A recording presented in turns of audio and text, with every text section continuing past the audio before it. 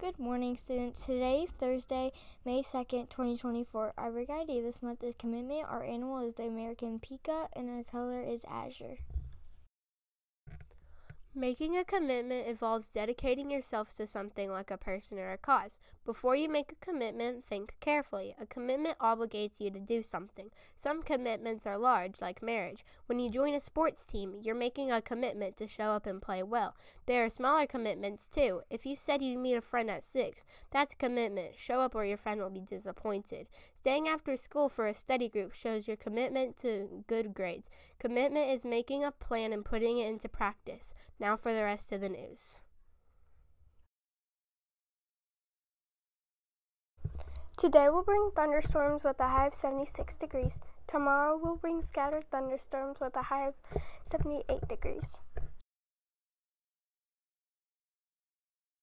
The cafeteria will serve chicken nuggets with mashed potatoes for lunch today and pizza with corn for lunch tomorrow.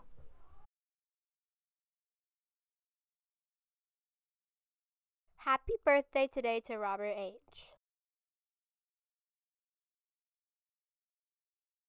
Fifth graders will take a field trip to the Bisbee Farm and Ranch on Monday, May 6th.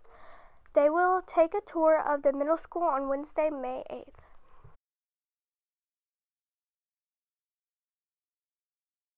Stand for the pledges.